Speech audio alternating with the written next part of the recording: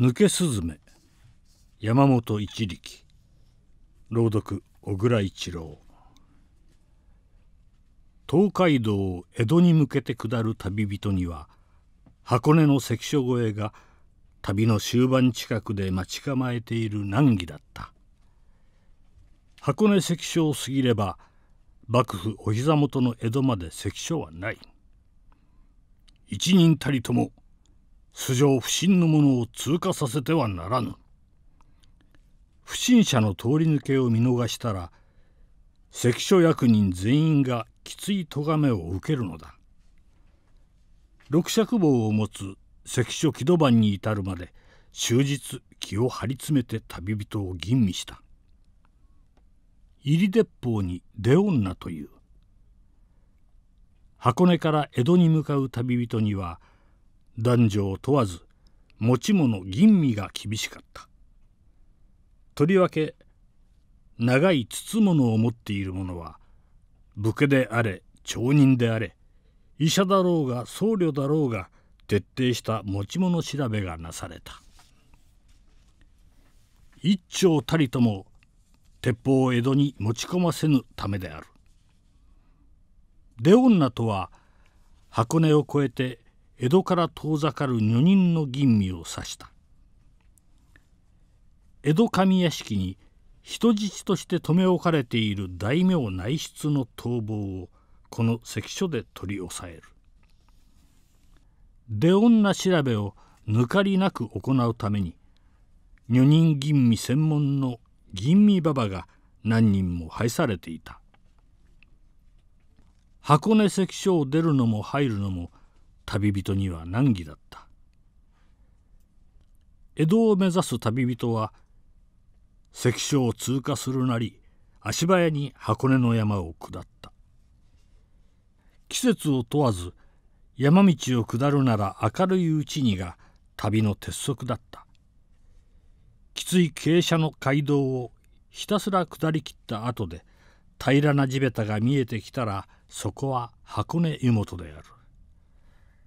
なんともきつい街道だったが、はあ、ここまで降りてくれば一安心だ。湯本の茶店は箱根の山越えを済ませた旅人でにぎわっていた。湯本の茶店から小田原宿の大木戸まではおよそ一里半と18丁である。土地の籠かきは茶店から半丁離れた場所で縁台に腰を下ろした旅人を遠目に見ていた。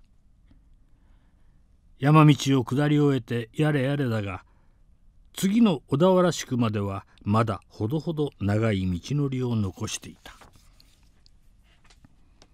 これが波の道なら一里半ぐらいは大した長さではない。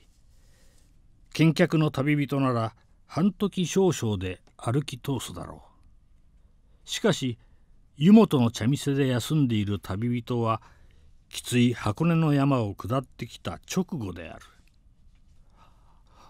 ここから小田原宿まではあとどれくらい残っているんだい？一里半と十八丁だがね。問われ慣れているばあさんは打てば響くとばかりに道のりを答えた。まだ一里半以上もあるのか。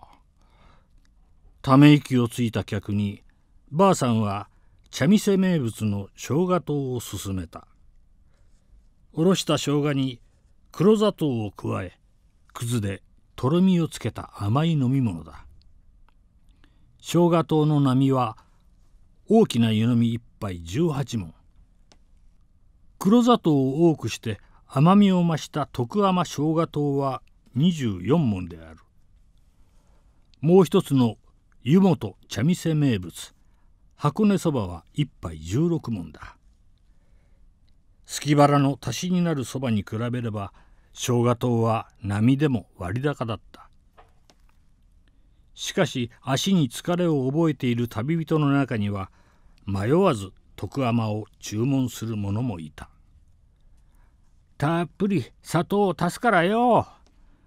注文を受けた馬場は茶店の裏に設けた物干しに赤い布を吊るした「おい客だ!」茶店から半丁離れた場所には三本松が植わっている。根元で客待ちをしていた四つでかごが茶店を目指して寄ってきた。馬場が吊るした赤い布は徳甘を注文した客がいると知らせる合図だ。金回りの良さそうな年配客や身なりのいい女客が徳甘を頼むと馬場は籠垣に知らせていた。次の小田原宿の大木戸まで逆手も込みで300でどんだね。籠垣は前棒と後棒の2人組である。2人は口を揃えて逆手も込みでの部分に力を込めた。心づけに相当する逆手をいくら払えばいいか。これがわからないがゆえ籠を敬遠する者が多かった。その逆手まで込みで一里半を300文ぽっきりで済むなら気をそそられる旅人も少なくなかった。小田原宿の旅籠は一泊二食付きで290文が相場だった。よそに比べて40文ほど高いのはこの宿場の格が高かったからだ。籠かきが言った逆手込みの籠賃300文は旅籠一泊分よりも高値である。しかし金よりも楽な道中を願う者には出せない金高でもなかった。300文ならお願いしよう。合点だ。籠賃の掛け合いを済ませた旅人は目の前の籠に乗り込んだ。竹の骨でできた軽い四つでかごでむしろのタレをおろすだけの粗末な作りだ。乗り込んだ客が両側のタレをおろすなり前棒と後棒はかごの長江に肩を入れた。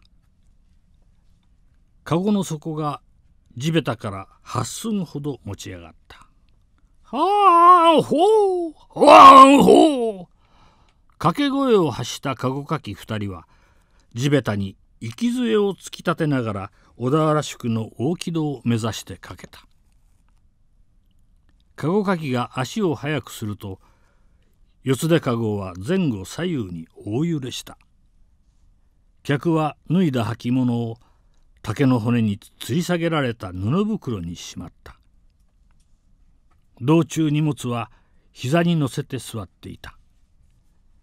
籠が大揺れを始めると片手で膝の荷物を押さえ利き手は長江から吊るされた手ぬぐいを握った。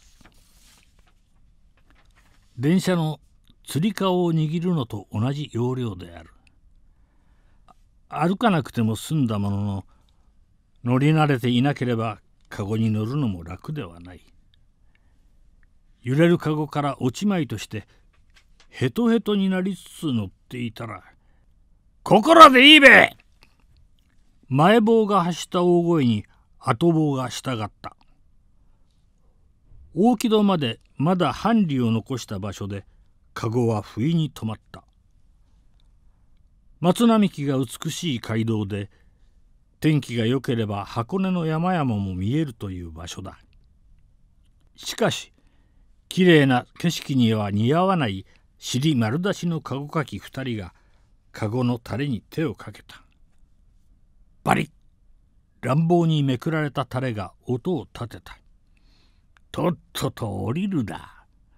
300文ぽっちの安い金で俺様の籠に乗るとは不定料金だ。籠かき二人が渡り台詞で客を脅しにかかった。宿まであと半里だ。今夜の泊まりも早いとばかりに旅人たちは大木戸目指して歩みを早くしている。街道脇で客を脅している籠かきを見ても客の身を案じて近寄る者は皆無だった。それどころか多くの旅人が乗ってきた者を咎める顔つきを見せた。旅籠一泊分以上もする金を得体の知れない籠かきに払おうとしたあんたが悪い。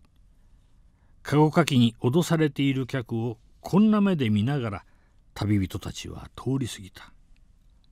あれをよく見ておきなさい。身なりの整った父親が四つでかごを刺して子供に言い聞かせ始めた。世の中で一番たちの悪いものが籠かきだ。何があろうとも街道で客待ちをするあの連中と関わりを持つことだけはするなと。父親は戒めの口調を強めた。怒鳴り声を発している籠かきを見つめながら子供はしっかりとうなずいた。西の山に夕日が沈みかけている。黒い翼に茜色の日を浴びたカラスが泣きながら巣を目指して飛び去った。天保12年ウルー1月30日八つ半過ぎ。浅野平三郎は小田原宿まで藩理の立て札を通り過ぎようとしていた。今日はウルー1月のみそか。本来ならば2月みそかで明日からは弥生3月を迎えようという時期である。箱根の山から宿場に向かって吹く柔らかな風には遅咲きの梅の香りが含まれていた。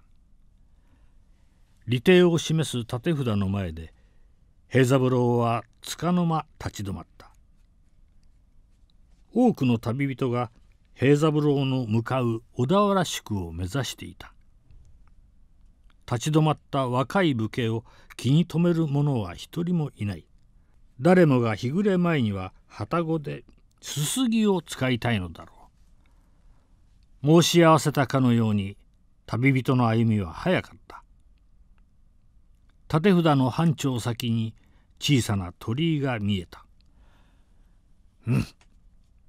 小声の気合を発した平三郎は鳥居を目指して歩き始めた。小さな鳥居と古い銅があるだけの名もなき神社だった。西日を浴びた銅の周囲には座るに手頃な石が何個も配されている。まるで座れと誘っているような置き方だ。箱根の足の湯を出てからかれこれ四時半。あちこち立ち寄りつつ歩き通しだった。鳥居をくぐった先には長図が竹の問いから流れ出ていた。足も疲れ気味だったし喉は渇きを覚えていた。先を急ぐ旅でもない平三郎である。長図に近寄り問いから流れ出る水を両手に受けた。作法に従いまず手を洗った。口をすすいだ後で新しい水を喉に流した。湧き水を問いに流しているらしい。うるう1月みそかの水は程よく冷たく甘露でもあった。周囲を見回し人影のないことを確かめてから平三郎は背負い荷物を体から外した。手ぬぐいを取り出し問いから出る水に浸した。きつく絞り首筋を拭った。上半身裸で鍛錬を怠らぬ肌は日焼けして朝黒くすら見えた。贅肉なしの引き締まった体である。両手だけは白さを保っていた。身体鍛錬の折にも常に手袋をはめて両手をかばっているからだ。肌の浅黒さと両手の白さがすこぶる不釣り合いに見えた。歩き通してほてっていた体に濡れた手ぬぐいが心地よい。土ぼこりを拭い取った手ぬぐいを問いの水で洗い落とした。さしたる木立もなく銅を照らす西日を遮るものはない。人目のないことを再度確かめてから平三郎は手ぬぐいを石の上に干した。使い続けて布が薄くなった手ぬぐいである。乾くまでに暇はかからぬだろう。別の石に腰を下ろした平三郎は両手を突き上げて体に伸びをくれた。太くて濃い眉が上下に動いた。鼻が大きい平三郎は吸い込む息も多い。存分に吸い込んだ後ゆっくりと吐き出した。押村区は味が劣っていた。山と里とでは吸い込む空気のおいしさが違う。目を閉じた平三郎は足の湯の空気のおいしさを思い返していた。足の湯は箱根関所に最も近い温泉である。上方を目指す旅人の多くは翌日の箱根関所越えの上守備を願いつつ足の湯で体のこりをほぐした。江戸を目指す平三郎が箱根関所を出たのは3日前のうるう1月27日の9つ半過ぎだった。下りの山道を急げば日暮れ前には小田原宿に行きつける国原である。一夜の旅籠賃も持ち合わせていない平三郎だがそれでも日が沈むまでには小田原宿に行き着きたいと思った。宿場内には寺も神社もある。本堂の軒下で一夜を過ごせれば上々と考えていた。今日から箱根関所に来るまでの間幾度も寺や神社で一夜を過ごした平三郎である。野宿とは言わぬまでも板の上に体を横たえることには慣れていた。先を急ごう。咎められもせず関所を出た平三郎が街道を目指して足を速めた時「平三郎さん」出会いをいぶかしむような物言いで初老の親父が背後から呼びかけてきた。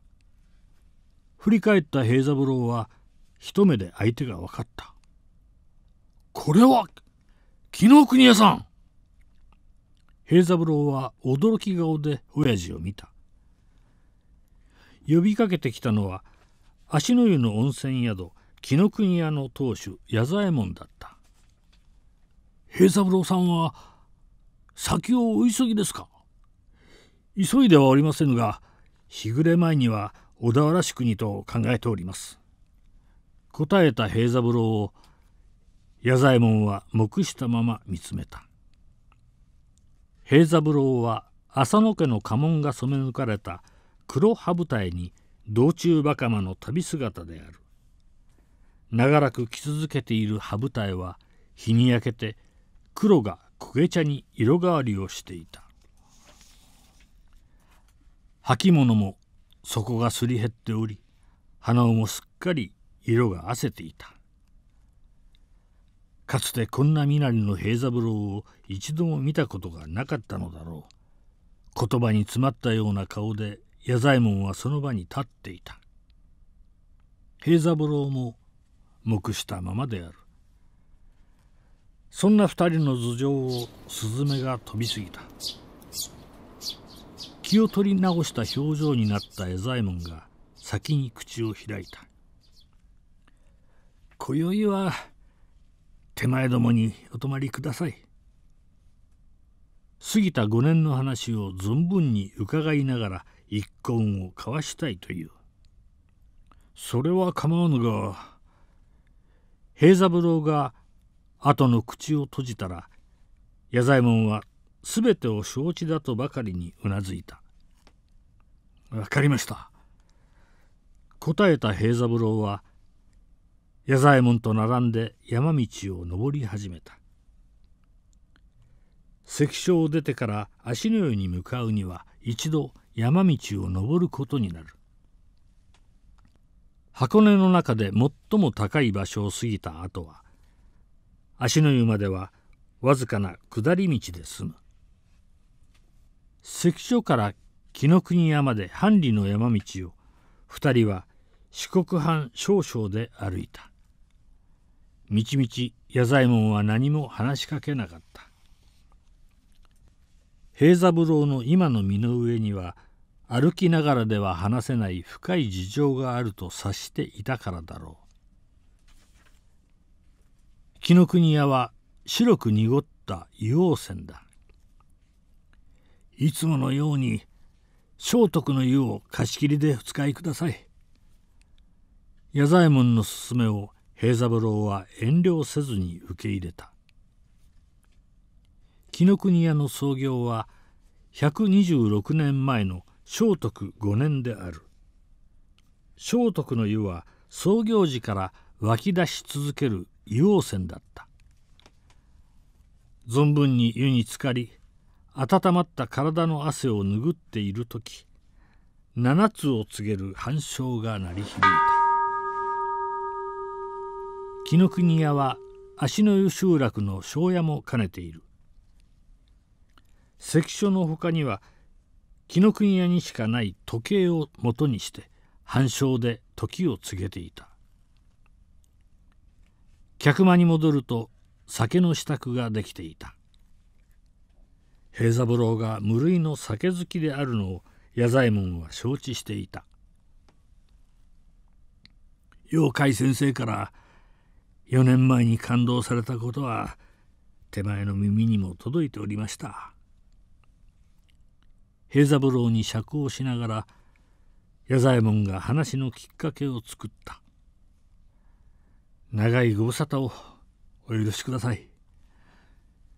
詫びつつ尺を受けた平三郎は過ぎた4年のあらましを話し始めた。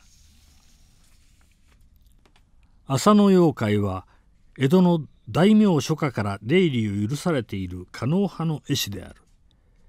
今から5年前の天保7年まで妖怪は三男の平三郎を連れて8月の足の湯に長投流をした。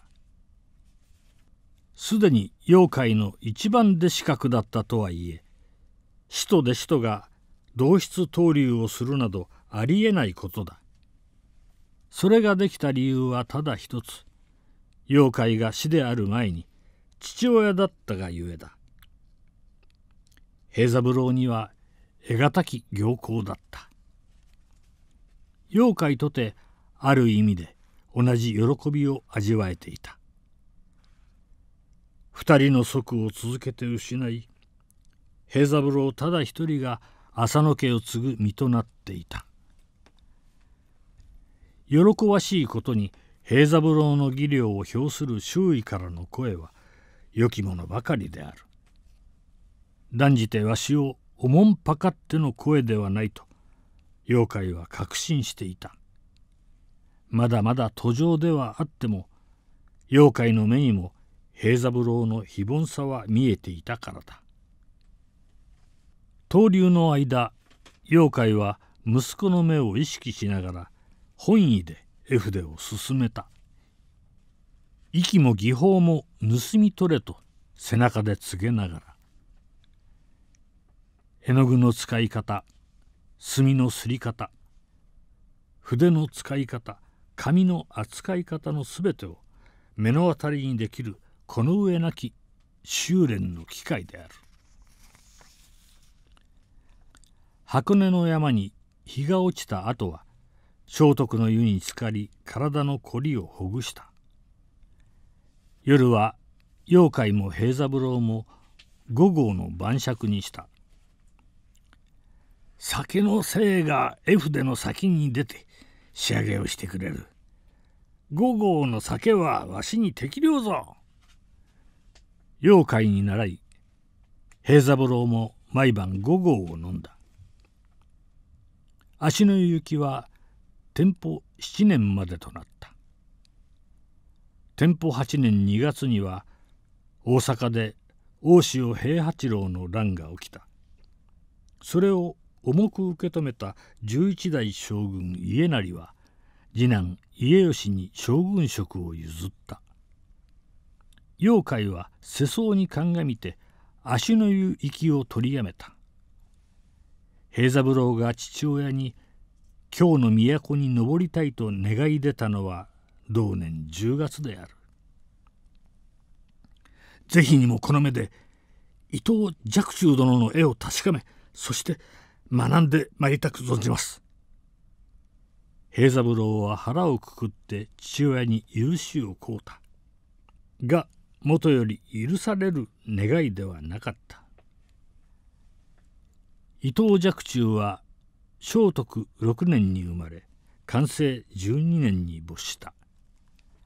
84歳で天寿を全うした生涯を通じ余人を寄せつけぬ技法の絵画を残した。浅野妖怪とて若冲の業績を否定するものではない。しかし狩野派を背負う限り若冲とは隔たりを保つのが通すべき筋だった。あろうことか我が祖が若冲を学びに京に登りたいというのだ。行くは勝手だがもはや浅野家とは何ら関わりのない身と心得よ。妖怪は平三郎を本館堂に処した。町奉行所に願い出て奉行の裁可を得た上で感動帳に記載するのが本感動である。内弟子を抱える妖怪は死としての判断を下した。長男次男を続けて失った妖怪は平三郎に浅野家を託すつもりで仕込んできた。筋のいい平三郎は父の思いを汲み取り日々絵師としての技量を磨いてきた。即平三郎は浅野家を継ぐものと信じて疑わなかった妖怪である。考えもしなかった京への旅。それを願い出られた深い失望が妖怪に本感動の措置を取らせたとも言えよう。翌年以降も箱根足の湯に出向かなかったのは平三郎を本館堂に処したがためだった。事情を聞き終えた矢左衛門は二晩の投宿を引き受けたいと申し出た。二晩は存分に酒を楽しみ体をほぐしていけばいい。主の勧めを平三郎は何ら遠慮せずに受けた。路銀がなくても堂々と往来の真ん中を歩いてくだされ。門なし同然でも卑屈さのない平三郎の生き方を矢左衛門は正味でたたえた。小田原宿の客引きは客の目利きが厳しいことで知られていますが中には平三郎さんに声をかける先の読める旗子もあるかもしれません。その時は威張って泊まりなさいと矢左衛門は煽った。ここまでさぞや厳しい絵の修行を続けてこられたことでしょう。矢左衛門は部屋の隅で包みを開かれている平三郎の背負い荷物を見た。着替えも手ぬぐいも使い続けて布の芯が出ていた。が赤で汚れた感じは皆無である。すずり墨筆の三種は小豆色の別鎮を下に敷いて並んでいた。京から江戸への道中がいかに厳しいものだったかほどかれた荷物が物語っていた。しかし苦しい中でも洗い物は怠らず墨絵の道具にはいささかの傷もないのだ。平三郎は門なしの旅に負けていなかった。たとえ門なしで泊まったとしても平三郎さんは必ず払いに出直されるはずです。臆せず堂々と投縮すればいいと矢左衛門は力強く言った。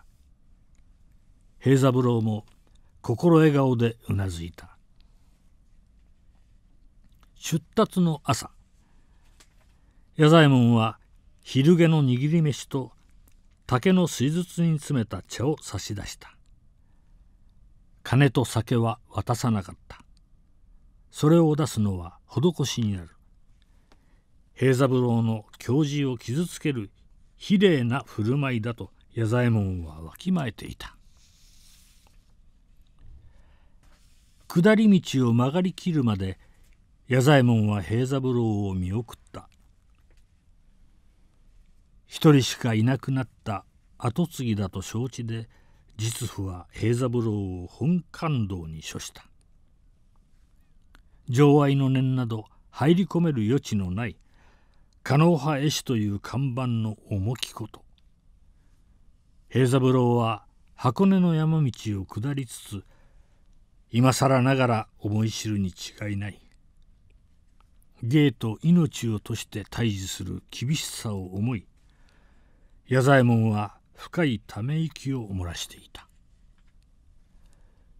うるう一月みそか気の早いひばりが高い空で鳴いた。水黒いを整え直した平三郎は宿場に向かう往来に出た。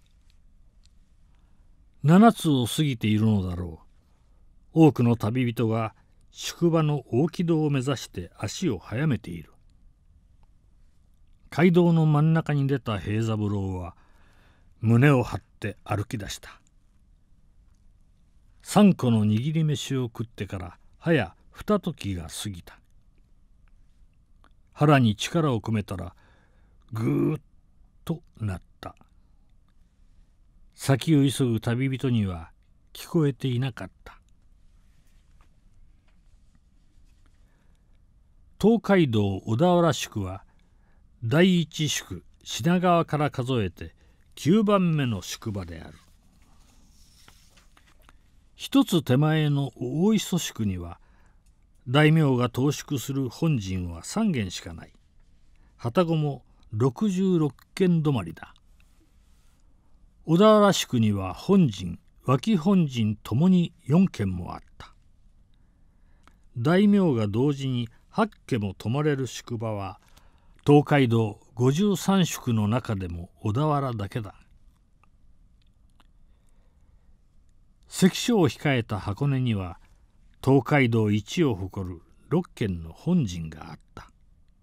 しかし脇本陣は一軒のみだ。小田原宿は旅籠も多く95軒を数えた。大磯宿とは4里しか離れていないのに宿場の規模はまるで違った。これほどに小田原宿が栄えていたのは小田原藩の藩主を歴代大久保家が務めているからだ。幕閣にも登用されている大久保家お膝元であることが宿場繁栄の理由の一つだった。初代大久保忠友が小田原藩藩主に就いたのは帝京3年。当時の将軍綱吉は忠友の誠実な人柄を高く買い10万3千石に報じて加賀守に任じた。以来天保12年の今に至るも藩主は大久保家である。当代藩主の忠直は代々の藩主の中でもとりわけ名君であると領民から深く慕われていた。忠直は領地在所の折には城下町や宿場を見て回ることがあった友も従えず町人の身なりでである領民の生の声を聞き取りそれを藩を治める祭りごとに生かした。わしらの暮らしは殿様が見てござる。領民は心底藩主を慕っていた。忠直の名君ぶりは他の大名にも聞こえていた。江戸に出府する大名の多くは小田原宿に投宿することを望んだ。大名が泊まれば当然ながら家臣も泊まることになる。95件の旅籠は参勤交代に付き従う家臣の受け入れにも慣れていた。紀ノ国屋当主の矢左衛門は小田原宿の客引きは目利きが厳しいと言った。大名の宿泊を受け入れ慣れている宿場ならではの目利きの厳しさと言えたのだが2月5日狩野虎の日の5つ過ぎ客を送り出した後の旅籠ではどの宿の奉公人も台所に集まっていた。宿泊客の姿が失せた台所の板の間ではこれから奉公人の朝飯が始まるのだ。旅籠の客は明けむつに旅立つ者が大半である。朝の遅い客でも6つ半にはわらじの紐を縛った。5つともなれば宿場のどこの旅籠も残っているのは連泊客だけだった。94軒の旅籠では大型のへっついで薪が炎を立てていた。奉公人の飯を炊く炎だ。へっついを飯炊き当番に任せた奉公人たちは熱いほうじ茶とあんのたっぷり詰まったまんじゅうをたうけに朝飯前の一服を始めた。気持ちよく晴れた2月5日の5つ過ぎ。のどかな気配が宿場にかぶさっていたが外れに立っている一軒だけは甲高い声がやんでいなかった。あんたのお得意のゆるい目利きでさまたまた一文なしを引っ張り込んだんじゃないのかい？小田原しく95番目の旅籠相模屋の女房お金は目の両端を吊り上げた。相模屋は奉公人のいない中年の夫婦だけで営む固定な2階建てである。1階には6畳の客間が2部屋と板の間の台所に湯殿。あとは川屋と帳場を兼ねた夫婦の居室がしつらえられていた。2階は往来に面した3室が構えられており広さはいずれも8畳まである。2階の真ん中に登竜している平三郎にも開花の声は聞こえていた。もう少し小さな声で話してくれ。私は耳は達者だ。小さな声でも聞こえる。主の長兵衛は女房の声をたしなめた。聞いたふうなことを言うんじゃないよ。お金は耳が達者だと言った亭主にさらに大声で食ってかかった。あたしの声をとやかく言う前に2階の客から宿賃をもらっておいで。だから何遍言えばわかるんだ。何がわかるんだってのさ。あたしはあの客から宿賃をもらってきて安心させてとそう言ってるんだよお金は亭主の言葉に耳を貸そうとはしない。じれた長兵衛は手を伸ばしてお金の口を塞ごうとした。何をすんのさ！口を塞いで私を殺そうってのかい？慌てて手を引っ込めた長兵衛は両手を合わせて「聞いてくれ」と拝んだ。お金はしぶしぶ口を閉じた。お前に何度も言ってきた通り宿賃は旅立ちの時で結構ですと私が言ったんだ。大酒を飲むぞと言われた時も私はそれで結構ですと受け合った。2階の客が宿賃を払わないのは自分がそう言ったからだ。長兵衛は客をかばった。その話ならもう何遍も聞いたさ。お金は亭主の言葉を弾き飛ばした。あんたお酒が一生いくらするか分かってんのかい？長兵衛が答えずにいたらお金は酒屋の通い帳を突きつけた。2月1日三条三冠門。2月2日三条三冠門。2月3日三条三冠門。2月4日三条三冠門平三郎が投宿を始めた翌日から昨日まで律儀に3条ずつが帳面に記されていた。4日分で12関門実に2両2分の酒代である。長兵衛も言葉を失った。しかもあの客はもう5つを過ぎたというのに今日も旅立つ様子はないよこの上宿賃ももらわずに酒をまた三条も言いつけられたらうちは干上がっちまうとお金は尖った声を亭主にぶつけたあんたが何を受け合ったか知らないけどさもうこれ以上は酒屋だって帳面では売ってくんないよ。もしも酒屋の払いをしくじったらうちが宿場から夜逃げをする羽目になるとお金は亭主に迫った。あんたは2ヶ月前にも一文なしの建具職人を引っ張り上げちまったじゃないか。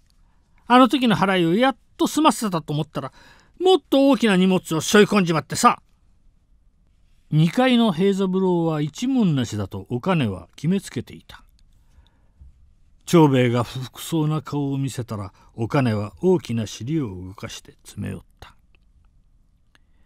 宿賃までとは言わないからさせめて酒屋の帳面台の2両2分だけでも相模屋が大事だったらもらってきてちょうだい今日は虎の日だから掛け取りには縁起がいいからさとお金は亭主に頼み込む口調で話を閉じた。分かった。長兵衛は語尾の下がった返事をした。飼い猫のミャオは呆れ顔で長兵衛を見ていた。まったくなんというやつらだ。毒づきながら長兵衛は階段を上がった。右手には水差しを持っており左の小脇には美濃紙20枚を大きく丸めて抱え持っていた水差しも丸めた美濃紙も平三郎に言いつけられたものである。穏やかな気性の長兵衛がいつになく毒ついていたことには無線宿泊の平三郎に用を言いつけられたこともある。がそれだけではなかった。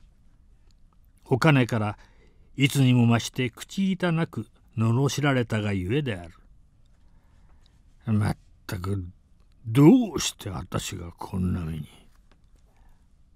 階段の十段目で長兵衛の足が止まった。日に何十回も上がり下りする階段である。足がもつれたわけではない。身の内から湧き上がる腹立ちが抑えきれなくなったからだ。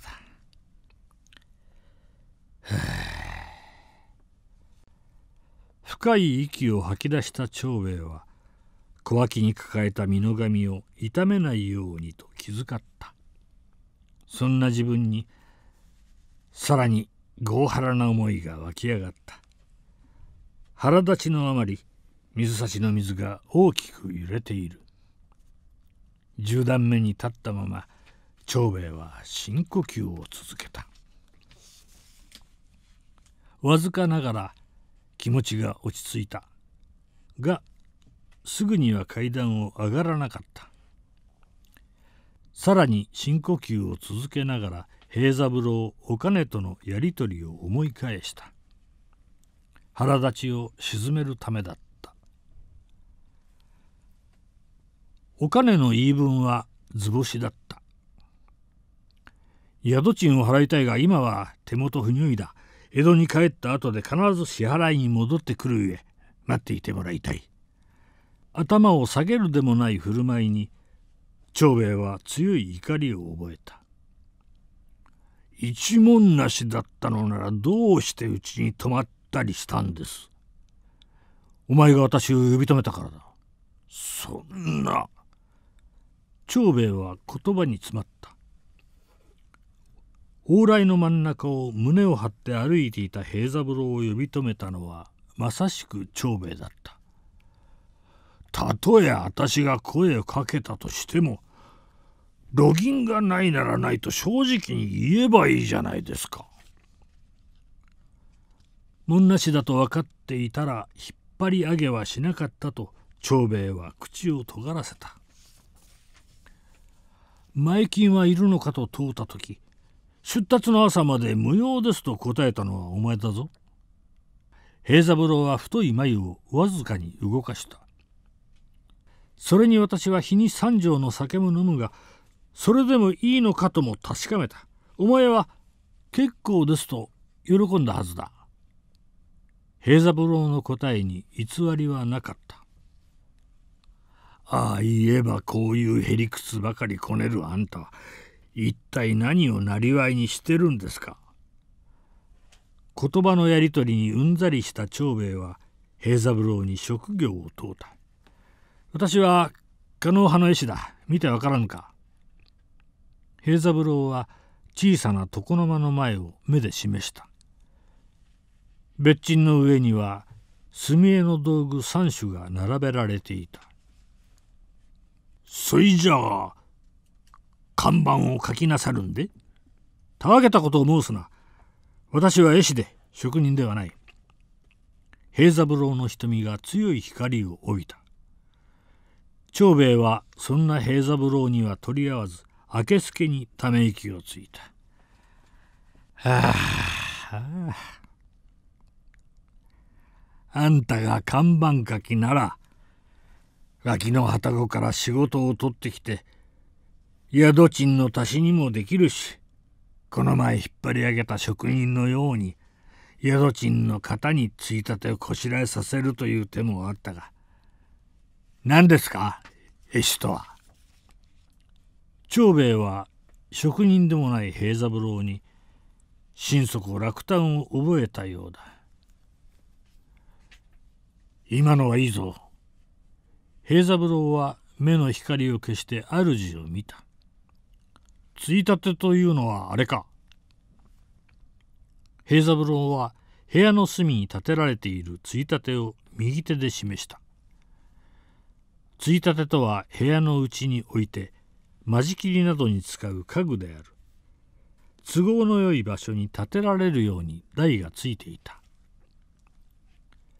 ついたて障子の名が示す通り表面には紙が貼られている上等なついたてには世に広く名を知られた絵師が絵を描いたり高名な書家が寄稿することもあった。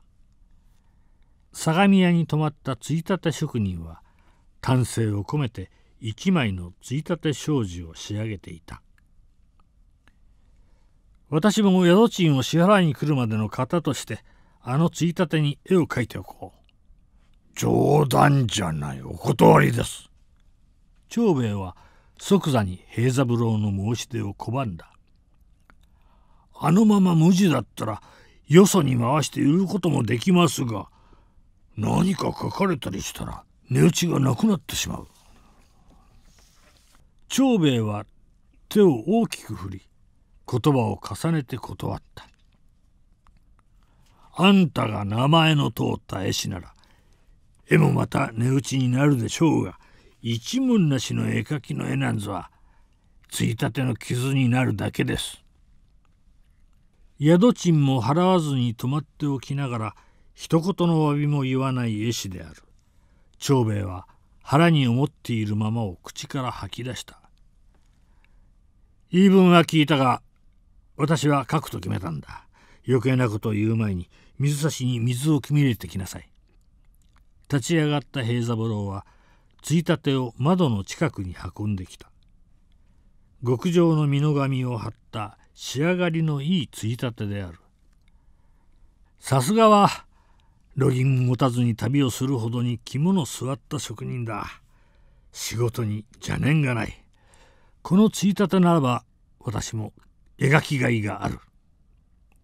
ついたてを褒めた後で平三郎は長兵衛に目を戻した。宿賃は払わず大酒を毎日飲む。そんな厚かましい男が大事な屏風に絵を描くという。もしも好きにさせたらまた女房から手ひどい毒づきを食らうに決まっていた。分かっていても宇土市生まれの長兵衛は客に文句が言えなかった。腹立ちを押さえつけたら白髪が3本増えていた。この旅籠には似合わぬ上質の身主だがこれはどこで手に入れたのだ？それをこしらえた職人が道中持ち歩いていた紙です。出来のいい紙ならなおさら余計な絵など描いてくれるなと長兵衛は強く言い張った。紙の残りはあるのか？親父の言い分には耳を貸さず平三郎は問いただした。またもや瞳が光っていた。半次第の紙が20枚残っています。ならば水差しの水と一緒にその紙もここへ持ってきなさい。指図には長兵衛に有無を言わさぬ強さがあった。不祥不祥立ち上がった長兵衛は美濃紙をしまってある帳場に戻った。どうなの？宿賃はもらったの？女房の問いには返事をしないまま長兵衛は美濃紙20枚の束を手に持った。これも職人が宿賃代わりに残していった紙である。ちょっとあんた！それをどうしようってのさ。2階の絵描きに渡すんだ。絵描きってあの人は絵描きなの？狩野派の絵描きだそうだ。短く答えて帳場を出ようとした長兵衛のたもとをお金は強く掴んだ。その紙をどうするのさ？絵を描くに決まってるだろう。やっぱりそうなんだね。立ち上がったお金は長兵衛の前に立ちふさがった。あの客も一文なしだったんだね。女房の声が霧のように尖っていた。長兵衛は答えず土間に降りて水差しに水を汲み入れた。あんたの眉毛の下に2つあるのは一体何なのさ？お金は般若のような形相で長兵衛にくくってかかった。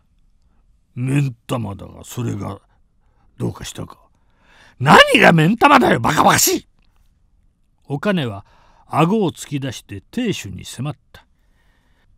一文なしばっかり引っ張り上げるような目ん玉なら二つともくり抜いて後に銀紙でも貼っときな。言いたい放題をあめき散らし土間に飛び降りて出て行った。水を汲んできましたよ。仏頂面で答えた長兵衛は水差しと美濃紙を平三郎に突きつけた。紙を受け取った平三郎は墨をするようにと命じたなんで私がそこまでしなきゃいけないんだバカバカしい。あんたがすればいいだろうと言い返した。私はこれから絵を描く。手が震えないように静かにしているのだ。墨をすれと強い口調で命じた。まったく。どうしてそこまで偉そうに。ぶつくさ言いながらも長兵衛は墨をすり始めた。すずりも墨も今まで長兵衛が手にしたことのない極上品だとすぐに分かった。墨はまるですずりに吸い付くように滑らかに走った。そして白檀を思わせるような香りが漂い始めた。いい香りがしますなあ。つい宣告までの不機嫌も忘れて長兵衛は炭の香りを褒めた。鼻だけは確かなようだな。長兵衛を見ようともせず美濃紙の手触りを確かめながら答えた。香りが下にまで届いたらしい。ミャオが足音も立てずに上がってきた。平三郎はついたての墨絵描きに筋目書きを用いるつもりでいた。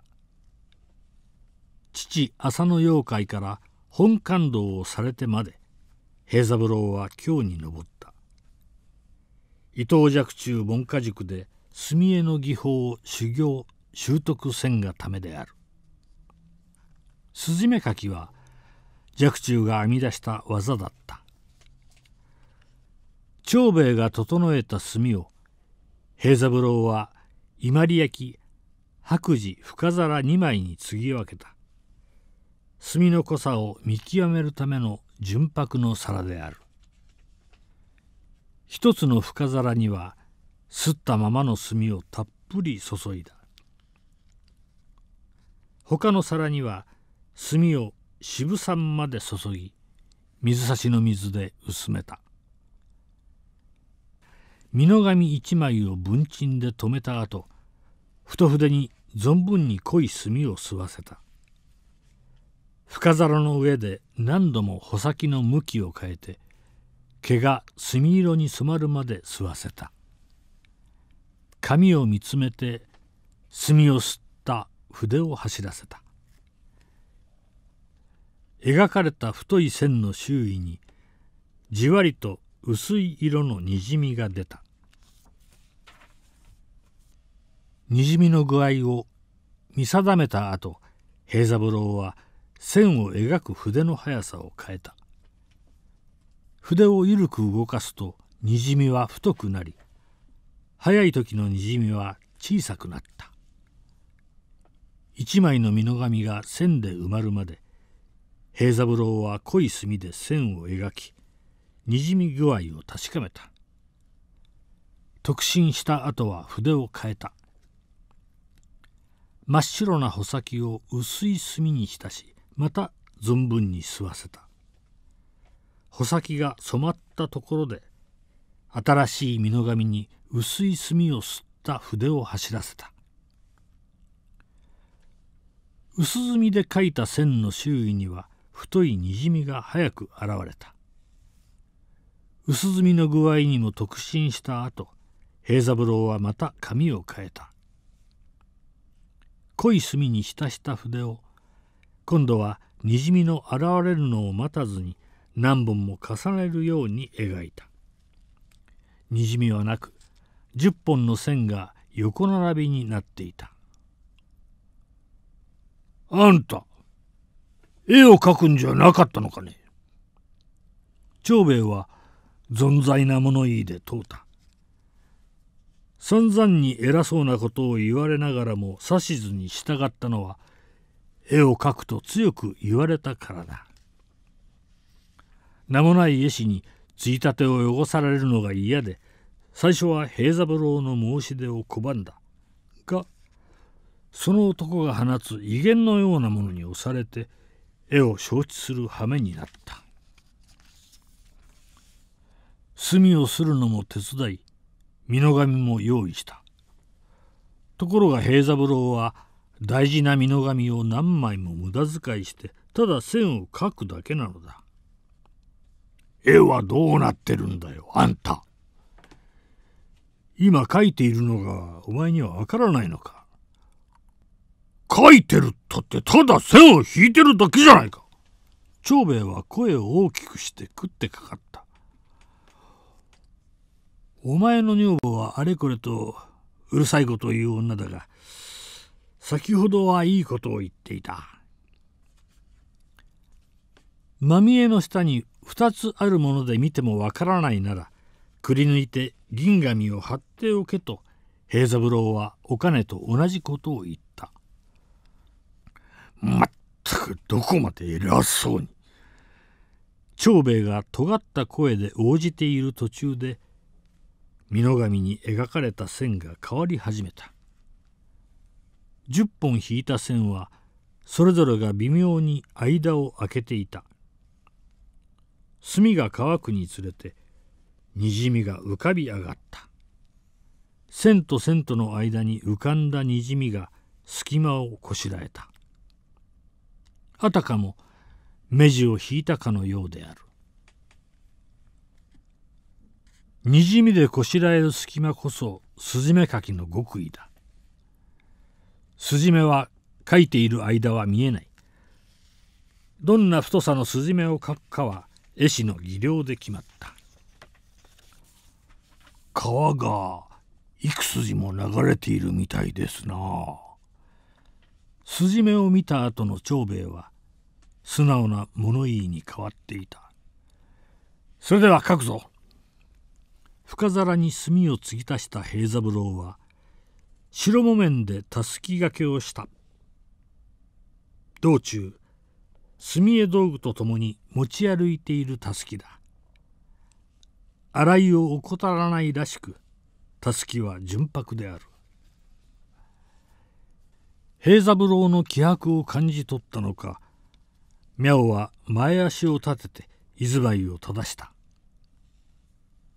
平三郎が描いたのは五羽のスズメである。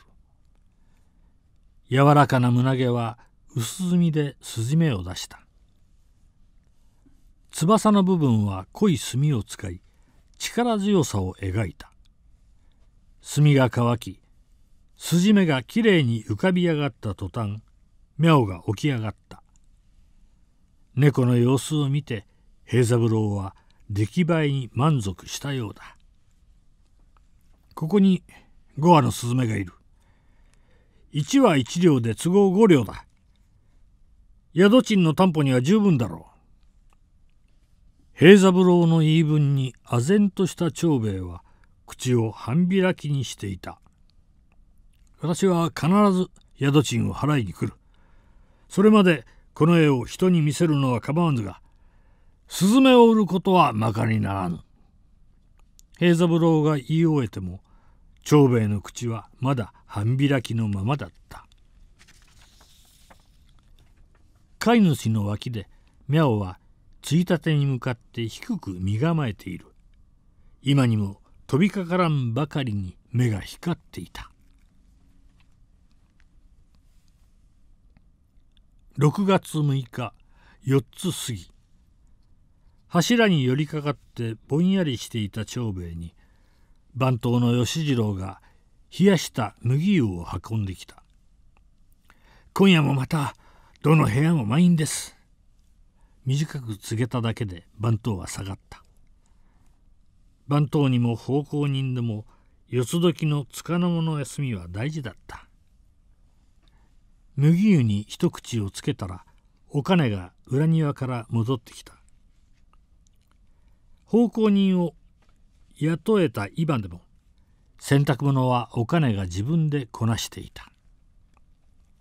今日もまた満員のお客さんとありがたいじゃないか。長兵衛の脇に座したお金も麦湯の継がれた湯飲みを手に持った。遠い目になった長兵衛は平三郎が宿を出た日からの出来事を思い返していた。天保12年2月6日相模屋は泊まり客のいない朝を迎えた。今日こそは乗客が泊まってくれますようにと願いつつ長兵衛は平三郎が投縮していた客間から掃除を始めた。雨戸は閉じたままである。部屋に入ると「チチチチチチ」とスズメがさえずる声が聞こえた。スズメを閉じ込めるのはよくあることだ。長兵衛は気にも留めずに雨戸を開いた。案の定羽音を立ててスズメの群れが飛び出した。部屋の掃除の仕上げに畳を拭いていた時飛び出していったスズメたちが帰ってきた「勘弁してくれ。掃除をしたばかりだ」長兵衛のぼやきには取り合わずスズメたちはなんとついたての中に飛び込んだ。そして平三郎が描いた墨絵のスズメに戻った。長兵衛は掃除道具を蹴飛ばし開花に駆け下りた。泊まり客のいない朝である。お金はまだふて寝をしていた。おいおいこっちを向けったら。何よお客のいない空っぽの部屋のお守りでいい加減くたびれてるんだから。不機嫌なお金を無理やり揺り起こし2階で見たままを息も継がずに話した。一文なしの絵描きを引っ張り込んだんで決まりが悪くてそんな作り話をするなんて。あんたもかわいいね。お金は長兵衛の頭を撫でようとした。バカ言うんじゃない。生きり立った長兵衛は翌朝の同じ刻限に女房と近所の旅籠の番頭連中を呼び集めた。少しはうちの客を回してやらないと長兵衛さんも来るところまで来たらしい。番頭たちが勝手なことを言い交わしているさなかに長兵衛は雨戸を一気に開いた。朝日がついたてに届くなり5羽のスズメが飛び出した。そして餌をついばんで戻ってくるとついたての中に戻った。お金も番頭たちもしばし言葉を失っていた。我に帰った後の番頭衆は宿場中にこの話を広めまくった。女房と番頭たちにスズメを見せた翌々日には相模屋は泊まり客であふれ返った。5部屋しかない旅籠なのについたての一部屋には客を止めないのだ。1階2階を合わせて36人の客が相部屋承知で泊まっていた。スズメは朝が早い。そのスズメよりもさらに早くすし詰めの客たちは足音を忍ばせて2階に上がった。誰もが息をする音すら立てぬように気遣っていた。36人は9人ずつ4列になって部屋の後ろに並んだ。どの列のどの位置に座すかは前夜のうちにくじ引きで決めていた。全員の顔が揃い定められた場所に座したのを見極めてから長兵衛は雨戸をわずかに開いた。隙間から朝の光が一本の筋となって部屋に差し込んできた。筋は屏風の隅にも届いた。突如屏風の内でスズメが動き始めた。36人が一斉に固唾を飲み込んだ。これぞよしと判じた長兵衛は一気に雨戸を開いた。朝日が部屋になだれ込んできた。チチチッと鋭い音を立てるなり5羽のスズメは一列になって屏風から飛び出した。そして朝の光の中へと飛び去った。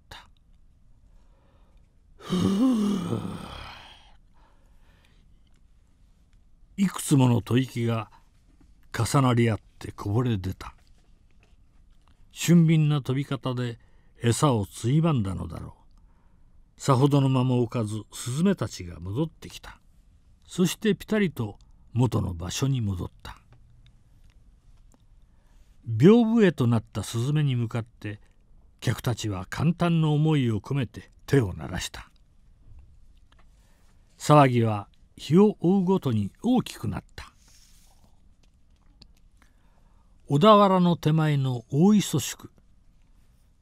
一つ先の箱根宿では相模屋に泊まった客が自慢顔で話を振りまいた「与部屋しかねえ旅籠でさ一人一条検討で詰め込まれるし飯はまずいし客扱いはなってねえし湯殿は小さくて赤が浮いてる始末でさいいことのねえ旅籠だが2階にあるついたてがすげえんだ。スズメが飛び出すついたてを見たさに客は一泊290文を払ってすし詰めになった。一月が過ぎた3月7日には60両に届く蓄えができていた。城下まで出向いた長兵衛は口入れ屋で番頭手代飯炊き釜炊きの終戦を頼んだ。人を雇わないことには夫婦の体が壊れそうだった。スズメのお宿の評判は城下にまで聞こえていた。ぜひ相模屋さんに口入れして。えりすぐりを終戦できるほどに口入れ屋には奉公を望む者が集まった。城下の棟梁は自ら相模屋の増築を申し出た。20日あれば建て増しをすると請け合い予定通りに4部屋を仕上げた。それでも押し寄せる客の多くを断らざるを得なかった。5月下旬の朝町人に扮した藩主が友と一緒にスズメを見に来た。相模屋は泊まれなかった客のために一人二十文の木戸船で朝のスズメ見物を受け入れていた。5月28日にお城から使者が相模屋を訪ねてきた。我が友がご所望での千両で買い取りたい。使者が持ちかけてきた話を長兵衛は丁重に断ったスズメはこの絵を描いたお方のもので手前どもは宿賃の方に預かっているだけです。返答を聞いた使者は宿賃の決着がついた折には知らせよと命じた。使者が帰った後長兵衛とお金は驚きのあまりに腰が抜けたようになっていた。旦那様番頭に強く呼びかけられて長兵衛は思い返しを閉じた江戸のお武家様が旦那様に大事な話があるとおっしゃっておいでで番頭の困惑顔を見て妙は前足で目の縁をこすり始めた。これは吉兆である。長兵衛の顔つきが明るくなった。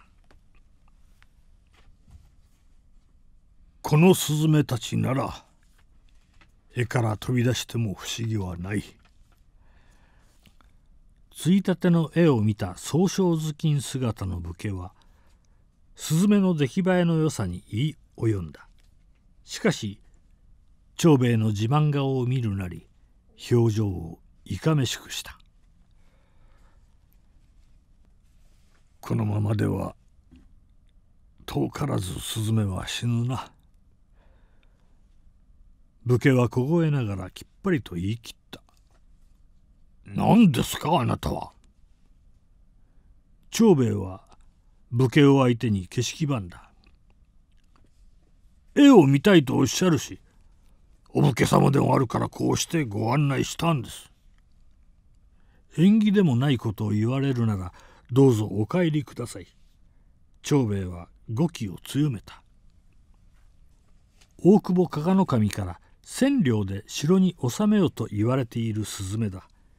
見ず知らずの武家のたわごとなど長兵衛に聞く耳はなかった。体を震わせて生き立っているのに武家は涼しい顔である。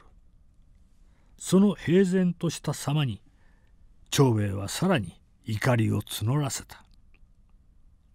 どんなわけがあってこのスズメが死ぬというんですか？訳を知りたいか。当たり前でしょうが！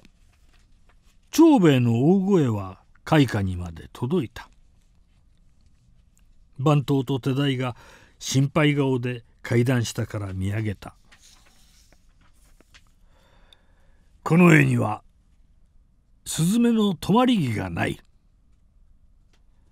どこにも止まれず体の休まることがない故に遠からずくたびれ果てて死ぬと武家は訳を聞かせた。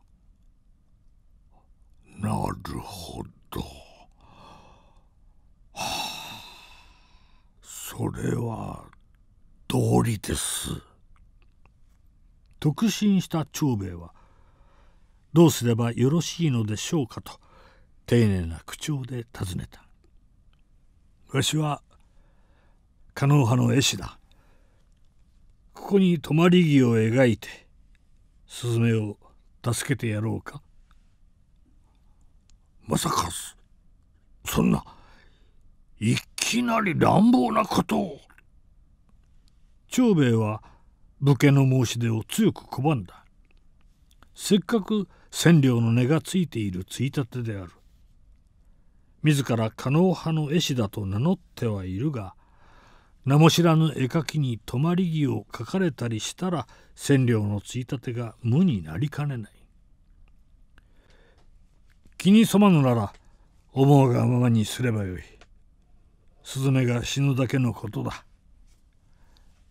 武家は長兵衛を突き放した。長兵衛は不意に背中に震えを覚えた。武家の威厳に心の奥底をわしづかみにされた。ちょっとの間考えさせてください。立ち上がった長兵衛はついたての前に正座した。そしてスズメを見つめた。絵のスズメが答えたわけではないが長兵衛は感ずるものを得た。どうか泊まり木を描いてください。両手をついて武家に頼んだ。それが最良の策だと今は強く感じていた。ならば明日の朝書こう。わしらはこの部屋に泊まるぞ。武家と弟子はスズメの間に泊まった。翌日は夜明け直後から相模屋の前はいつも以上に見物人の群れが膨らんでいた。スズメの泊まり木を描く絵師が現れたらしい。大丈夫かねそんなことをして。見物人と泊まり客が一緒になりスズメの飛び立つのを待っていた。いつもは長兵衛がここぞと判じた時に雨戸を開けた。この朝は武家の指図を待っていた。ついたてを黙したまま見据えていた武家が時ぞ満ちたりと断じた「開けよ」指図を受けた長兵衛は一気に雨戸を開いた。夏の朝日がついたてを照らした。パタパタパタと強い羽音を立てて5羽のスズメが飛び立った。太い筆を手にした絵師は息継ぎも惜しんで大きな鳥かごを描いた。5羽が泊まれる泊まり木も中に収まっていた。鳥かごが仕上がるのを待っていたかのようにスズメたちが戻ってきた。そして仕上がったばかりの鳥かごに5羽ともぴたりと泊まり木に止まった。うお見物人の間から称賛のどよめきが生じた。相模屋の評判はさらに高まった。再び大久保加賀守がお忍びで相模屋を訪れたのだろう。7月中旬にまたもお城から使者が相模屋を訪ねてきた。ついたての値が2,000両に跳ね上がった。奉公人たちはお頭付きで祝った。妙にも焼津港の鰹節が振る舞われた。うるう1月を経たことで天保12年は8月9日に秋分を迎えた。お茶の支度ができました。炊事番のお米が大声を発した。今日は宿泊客にぼた餅を振る舞う段取りだ。奉公人の4つ休みにもぼた餅が茶受けになっていた。私も一緒にいただこう。甘いもの好きの長兵衛も奉公人と一緒にぼた餅を味わう気である。お米の声に顔をほころばせて板の間に出てきた。旦那様はこっちだがね。下男が長兵衛に座布団を用意した時土間から客の声が聞こえた。手代が急ぎ足で土間に向かった。さほどに間を置かず戻ってきた手代の後ろに羽織袴姿の武家が立っていた。慌てて湯飲みを置いた長兵衛が応対に立った武家は親しみのこもった笑顔を向けた長らくご無沙汰をしたが奉公人まで雇って見違えるほどに繁盛いたしているようだ武家がしゃべると太い眉毛が動いた。お長兵衛の両目が大きく見開かれた。思い出してくれましたか？忘れるものですか？客は身なりの整った浅野平三郎だった。急ぎ一階の客間に招き上げるなりお米に酒の支度を言いつけた。がそれを平三郎は断ったまずは付けの生産をしてからでしょう平三郎が紙入れを出そうとした動きを長兵衛は両手を突き出して止めた。実はお城からあのついたてを千両で買いたいとの申し入れがございまして長兵衛はここまでの顛末を話した。それはめでたい話だがまだ売ってはいないのか？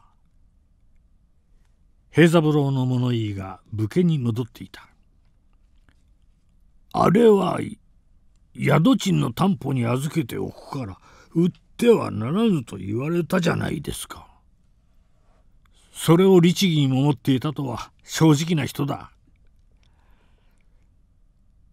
スズメはあんたのものだと平三郎は明言した。長兵衛の顔つきが真夏の日を浴びたように明るくなった。そうとなれば実はあのスズメは二千両になるんです。どういうことだそれは。いぶかしがる平三郎に泊まり木の一件を話し始めた。絵から飛び出すほどに力のあるスズメを描きながら大事な泊まり木を描き忘れているこんな抜かりがあるようではまだこの絵を描いた者は名人には遠いとそのお武家様が言われましたんでなんと顔色の変わった平三郎は階段を駆け上がった。が、ひたとも音は立てなかった。ついたてに描かれた鳥かごを見るなり、平三郎は畳に両手をついてひれ伏した。顔を上げると、ついたてに向かって話し始めた。長らくのご無沙汰を。何とぞ平にお許しくださりますように。ついたてに向かって詫びを言う平三郎を、長兵衛はあっけに取られた顔で見ていた。詫びの言状を終えて向き直った平三郎を見て、長兵衛は安堵顔をこしらえた。正気だと分かったからだ。いきなりついたてに向かって詫びを言い出したりして、気でも触れたのかと、びっくりしましたよ。何があったんですかと、長兵衛は問うた。泊まり木を描いて、スズメを助けてくれたのは、私の父だ。平三郎はついたてに向き直り、一礼をしてから、もう一度長兵衛に体を向けた。つい二ヶ月ほど前に、感動を解くという知らせを受け、金も届いた。何故本感動が解けたのかわからぬままに、平三郎は付けの生産に出向いていたのだ。このスズメをご覧いただけたことで感動を許してくださったのだと、今わかった。そうですとか。長兵衛は顔をくしゃくしゃにして喜んだ。長兵衛の弾んだ声を聞いて、ミャオが寄ってきた。親に恥をかかせた私は、なんという親不孝者だ。破顔している長兵衛とは裏腹に、平三郎の顔には、憂いの色が濃かった。こんな見事なスズメを描くあなた様が、どうして親不孝者ですか？長兵衛は強い口調で湯を唱えた。見なさい、この絵を。平三郎はついたての鳥かごを示した。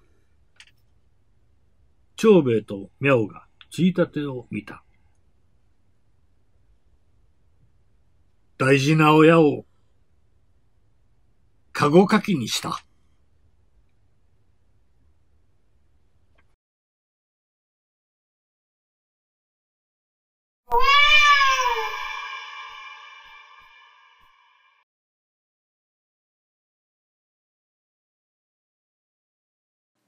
公式名作朗読チャンネル文芸スペシャルイベント日本を代表する小説家著述家が続々と登場するおしゃべりエッセイ。読んでみよう。読んでみたがスタート。これは日本文芸家協会とのコラボ企画。またご好評いただいている名作朗読作品もますますの充実です。